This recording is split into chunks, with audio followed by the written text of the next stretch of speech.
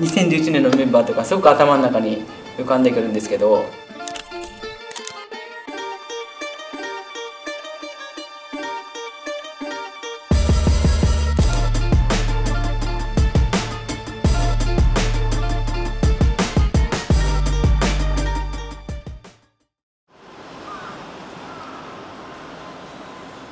緊張しますね。本当ですか？そうはいなかなかこんなことないんで失礼します行ってきます失礼しますそうですねもうこの前も、はいそのトロフィーツアーとかも結構久しぶりにそういう人の前に立ったりもしたんでめちゃくちゃ緊張しましたあり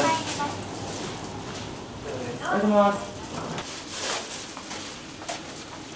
おはようございます。ここはこっちが WE リーグで、あおはようございます。あっちはなでしこリーグで、いつもお世話になってたくさんおしゃべりさせてもらってるんです。あ今日お話しさせてください勝手に。おはようございます。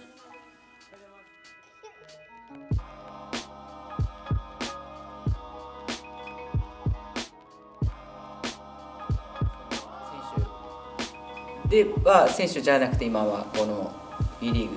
中でコミュニティオーガナイザーっていう役職というかを、まあ、スタッフの皆さんとずっと結構悩んでたんですよね。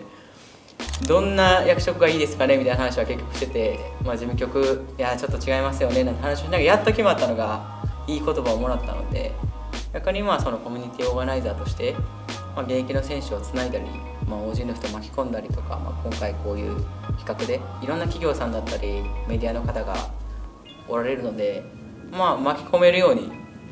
ちょっと頑張りたいなって思いながら今模索して今日々頑張ってます。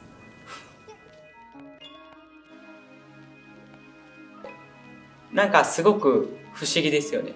まだ選手で頑張ってる今なんか選手岩清水今回岩清水次ですけど、まあ、この前レッツやったら安藤さん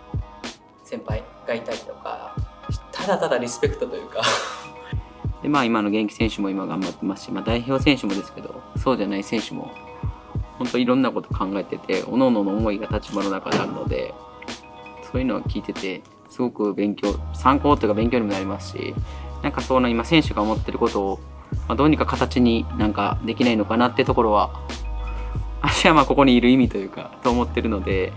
まあ、こういう選手の機会をフラットに聞けるのはすごくいいです私にとっては。なかなかこの夢を描ける描くのが得意なタイプじゃなくて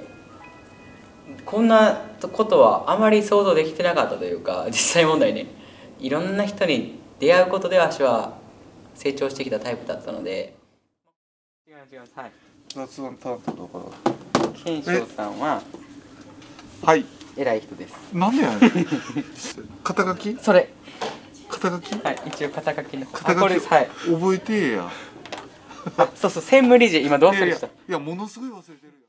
当時も僕もサッカー協会にいて見てたんですけどもちろん。改めて10年前、ね。11年前？もう17年になります、ね、はい。それで見てたらいややっぱキーパー海堀あゆみすげえなんて思っちゃって。すごくね いやいや。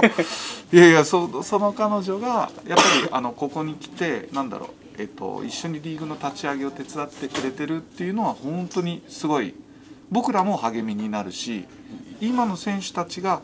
例えば将来ああやって、えーリーグ側の方に立って仕事ができることとかその選択肢の幅が彼女がそのいてくれることでこう幅を広げてくれてるそんな感じは僕は知ってますかね。彼女にもちろん期待もしてるしあの自分らしさを逆に忘れないでねっていうこと？で今日さっきねミーティングもしてたようですけどその選手たちにやっぱり彼女の生の声を言った方が僕らが言うより何百倍も伝わるのでそういったのが多分彼女の最大の強みであり役割なのかななんて思って一緒にやってます。はい。メ、モします。メモします。そういうふうになんか言われたことないからなんかちょっと恥ずかしいですね。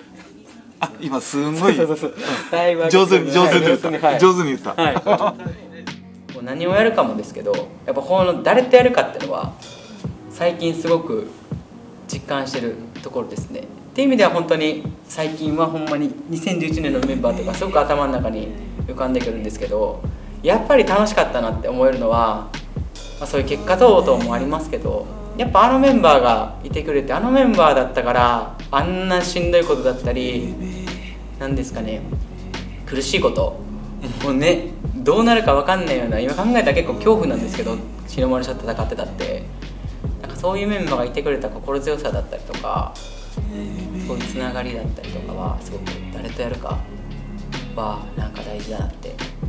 思う中で今の B リーグの結局のメンバーほんま素敵なメンバーですし、うん、一緒に仕事がしたいって思える人と出会うっていうのはなんかこのキャリアを選択する上で大事な要素だなってつい最近気づきました。ねなんか私でいいのかみたいなところはありますけど正直。でもなんかこれも一つの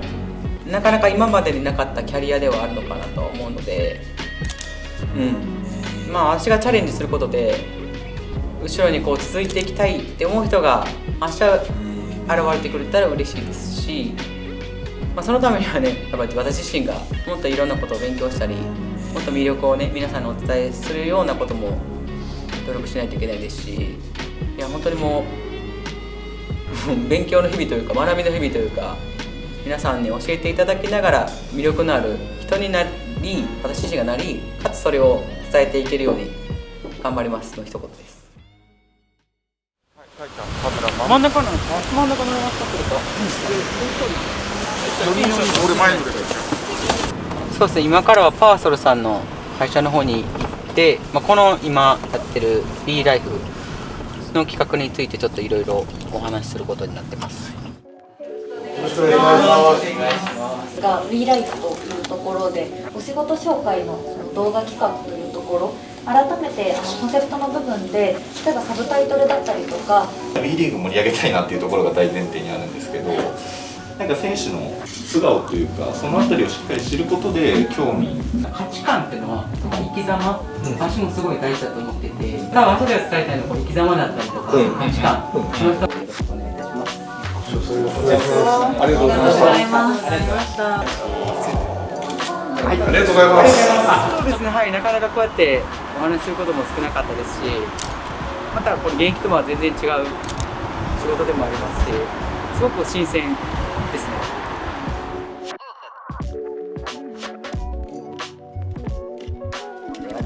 今はこの SNS の時代と言われてる中でまあ理由がこう言うからとかじゃなくて自分たちが発信したい内容を自分たちがの自己ブランディングですよね。なんですかね。みんな一緒じゃなくていいと思うんですよ。私は、まあ、理念すいなんか結構ありますけどその解釈の仕方ってみんな違うと思うのでそこをしっかり見て自分がどう生きたいかっていうのは見極めるようになってってくれると皆さんもいろんな人にこうこの子に当てて当てたいっていうのがもっと出てくると思うのでそうなったらまた一個楽しくなるんじゃないかなっていうのは思ってます。えっと、ヨギボー WE リーグ第13節。ここの試合に私はトロフィーと一緒に、えー行くことになってるので皆さんぜひ私にも会いに来てください。応援の方よろしくお願いします。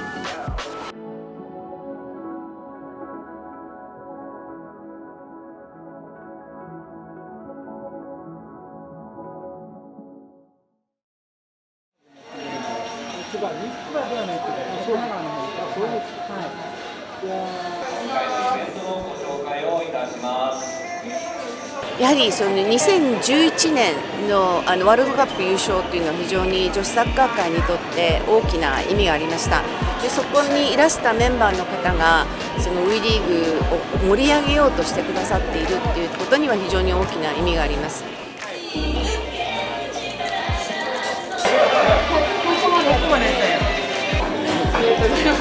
またね。はいまあ今は本当に現役選手から今はリーグの立場だったり、まあ一時期指導者だったりとか今チームの他のところでチームのことをやらせてもらったりとか、まあいろんな人の視点っていうのは見えてきてるので、まあ選手の立場をしてたっていうのはリーグの中で私だけではないですけどあの時の当時をしてるのは私だけなのでまあ、そこの私なりの良さを出しながらもっと油を乗せていきたいと思います私にとって働いて笑おうは、まあ、改めてこうやっていろいろお話しする中でやっぱりまあ自分がやっぱ楽しく仕事をすることもですしあとはこう一緒にやってる皆さん仕事をしてる人たちが笑顔になってくれることが私の働いて笑おうなのかなって改めて思いました。